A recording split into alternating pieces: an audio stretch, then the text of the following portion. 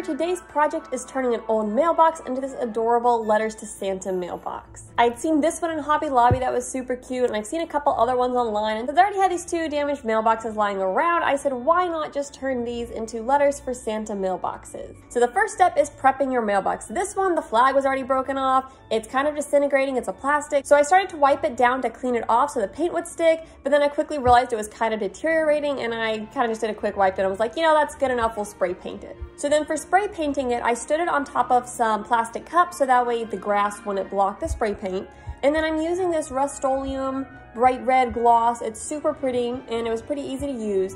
However, let me just throw out here, I'm really bad at spray painting. This first one did not go well. I've got a link down in the description with the video that helped me with my technique. When I spray paint, I tend to get runs, so I'm like, okay, let me avoid the runs by spray painting faster, but then it ends up really patchy like this. So the next mailbox goes a little bit better. Again, watch the video down in the description for some tips on how to get a better spray paint application than what you see here. Then I had the second mailbox. This one is a metal one, and this one went so much better with the spray painting. Again, before you spray paint, you want to clean it. I was trying to remove the stickers, but they were really hard to get off. So finally I said, I'm gonna spray paint right over them, and I'll just hide the numbers with decorations. Again, I took it outside and stood it up on some plastic cups to be able to keep it out of the grass. And this time the spray painting went much better after I backed up a little more and went slower. I got a lot better coverage. You may also notice it was pretty windy this day when I was spray painting and honestly it was windy both days. Make life easier on yourself. Don't spray paint when it's windy. So this one I was able to get really good coverage in just one coat. My first one I had to go back over and do a second coat because it was so blotchy. But as you can see the metal one looks really pretty, very minimal running. And then that plastic one that was very blotchy and a bad spray paint job, I went through with a better technique, went slower and further back, and got a lot nicer coverage. If I hadn't done such a bad spray painting job on the first mailbox with that first coat, I might have been able to paint both mailboxes with just one can of the spray paint, but because of my mistakes and it was kind of right on that borderline there, I ran out of paint right when I had just the lid of the second mailbox to paint, so I had to pick up another can of spray paint. So once they're painted and they're dried, now it's time for the fun part, which is decorating them. I've got lots of ideas and I'll show you some different things. And then of course, I'll show you what I ultimately ended up with. So first of all, I found the flag for the plastic mailbox inside of the mailbox. But as you can see, the plastic is really dry rotted and cracked. So then I have this bow that I made a couple weeks back we'll just put the bow on there to cover up where the mailbox flag was supposed to go. Then I had these pieces of ribbon that have Velcro at the ends, and these came from some Christmas blankets. It seems like at Christmas, stores package their products a lot cuter, and so these ribbons came from some Christmas blankets and they already had Velcro on either side and they were the perfect length to go all the way around my mailbox. So my initial thinking was I can hot glue some jingle bells onto this piece of ribbon and then wrap it around. I don't end up going with that, but I'll show you how that looks. And then of course you could use any type of ribbon to wrap around. So I had some of this gold ribbon left over from the bow that I'm gonna put on this mailbox. You could wrap that around, that will look super cute. And of course you could get the same effect with washi tape. So to glue my jingle bells onto the ribbon, I knew I wanted to take the ribbon off for while I was gluing just so it would be easier. So I measured how long of a distance it was all the way around so that I didn't accidentally glue any jingle bells to the underside of the mailbox. So then I got out my hot glue gun and I knew I had about 22 inches to work with. So I went in an inch and a half or so and then every two inches I hot glued a jingle bell onto the ribbon and I did it with both pieces of ribbon and then let the glue cool to dry. So here's what it looks like wrapped around the mailbox. I think this is cute. I just didn't feel like the white and the silver were quite the right combination. What might look super cute is if you got some leather-like fabric and then glued some gold jingle bells onto the leather-like fabric and wrap it around like I'm doing with this piece of ribbon. That would probably look really good. I just wasn't a fan of the white and the silver on top of the red. It just didn't pop the way I wanted it to. So then while I thought about what I was gonna use instead of the white ribbon, I decided that for my second mailbox that did have a flag, I was going to paint it white, but I was using this gloss white paint and gloss white paint shows the streaks so much so then I decided, you know what, we're gonna cover it in glitter. Now, I'm gonna show you my method. This is foolproof glittering. I really hate doing glitter on projects. It looks so awesome, but it's such a mess. So I'm gonna show you my method to get the mess-free glitter where once you're done with this project, you can put it wherever you can touch the glitter, the glitter will not move. So what we're going to need, of course, is glitter, and then we'll also need some Mod Podge, which I had some that I just mixed up a little bit of Elmer's glue and water that I'm really storing in a balloon so it didn't dry out. And the basic idea is we're gonna mix some Mod Podge and glitter together, and then we're gonna layer that onto our project, and then once that dries, we're gonna put even more Mod Podge over top of it to make sure all the glitter pieces are completely sealed in. So I put a little bit of the Mod Podge in my first container and then the rest in the second container. And then I took some glitter and just started dumping it in. And I added a ton because you do want this to be pretty thick or else you won't get a nice even coat. I mixed it up with a little paintbrush and then I just started sponging it onto my flag. A sponge, of course, will make this go a little bit easier, but really you're just scooping it up on the paintbrush and dabbing it off. You're not really painting it because if you paint it, then the glitter will separate and it'll end up patchy. Whereas if you sponge it on, it goes on really nice coverage. Now my mixture was a little too runny, so I went ahead and added some more gold glitter and I also threw in some of this really pretty white glitter and mix that all up so it's this really thick sludge. And as you can see here, I can scoop up big globs of it. So now I'm gonna scoop up the big globs and start dabbing it on there, kind of sponging it on.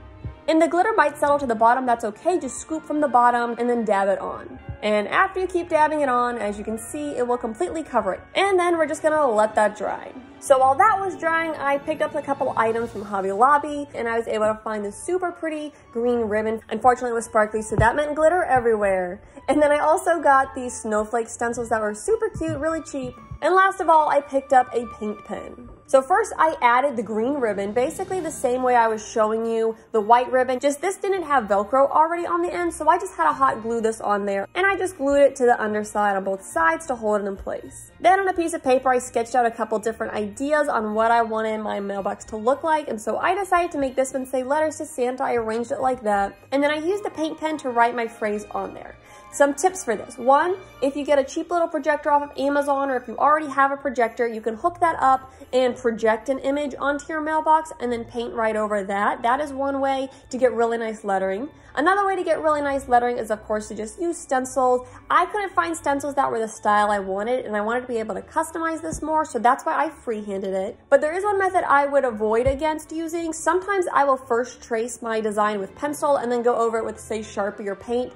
With these particular paint pens from Hobby Lobby, I found that they didn't cover up the pencil lead very well and it kind of caused the pencil lead to mix in with the paint and it looked a little strange. But what you can do if you're freehanding it and want to be as precise as possible is you can put down some tape so I've just got some masking tape to basically create a top and bottom of my letters. So that way, at the very least, my letters will be straight across the top and bottom and they'll be evenly spaced. Now, when you're doing any kind of lettering, the trick is to start very thin and then just layer it up because when you first draw it on there, you're gonna have all kinds of mistakes. I had lots of mistakes on there, like that first A looks really like squished in the front. So the trick is to then just start layering it up. Anywhere that your letter is curved, make it thicker. And those little curly cues, curl them out a whole bunch. Just fill it in, make every part of your letter thicker and it will hide all those blemishes. So it ended up something about like this, super cute.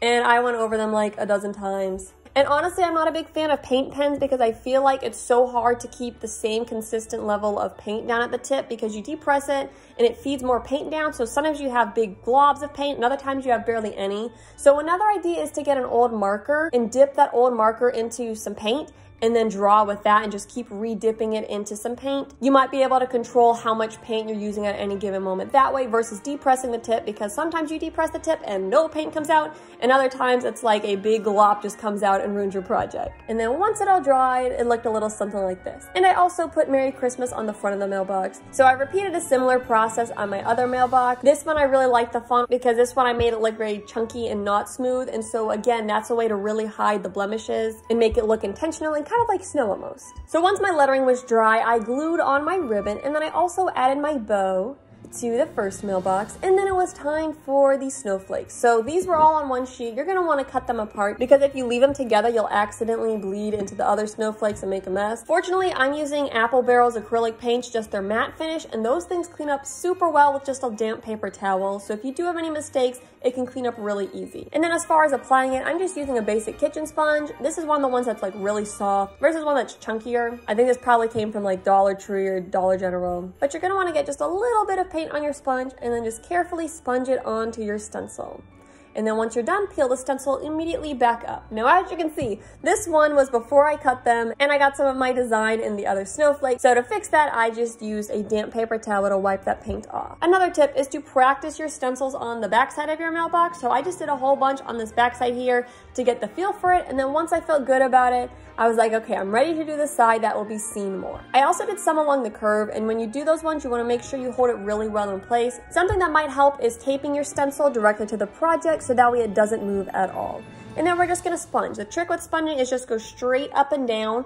You don't need a ton of paint on your sponge. Just always come from the same direction, directly on top of it. Don't come at an angle, don't slide, because then you'll bend the stencil. Just come straight down on top of the stencil, lift straight up. But the stencils look so cute. I love these little snowflake stencils. I'm very happy with that purchase. So I put words and snowflakes on my mailboxes, and then I remembered, oh yeah, I've got the flag for the second mailbox drying. I came to test it and you can see I had a little bit of glitter come off. That's because it is not fully dry. So I let it sit a little longer and then once it was fully dry, I put a coat of just plain Mod Podge over the entire thing. Again, I really loaded up so that way all the glitter is sealed inside the Mod Podge.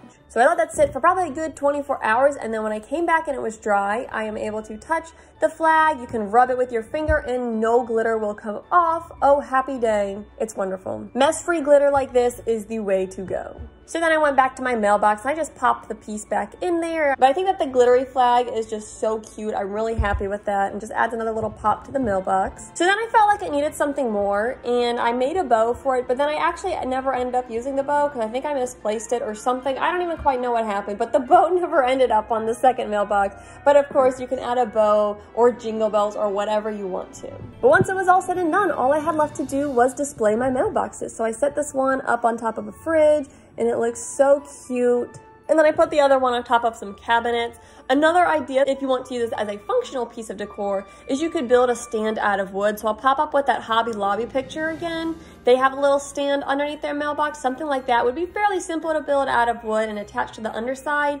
And then you could display this on your porch or you could display it inside your home and then you can have your kids leave their letters to Santa inside the special Santa Mail Express mailbox that you've created. But all in all, I had a lot of fun working on this project and I think it's just such a fun decoration idea and I was glad to be able to find a use for those mailboxes that had just been sitting outside waiting to either be trashed or repurposed or scrap metal. So I'm glad that I was able to turn some into Christmas decorations. But thank you so much for watching. Don't forget to like and subscribe, all that good stuff. And of course, this week is Thanksgiving, so happy Thanksgiving to everybody. I hope you have a wonderful day. And until I see you in my next video, happy crafting.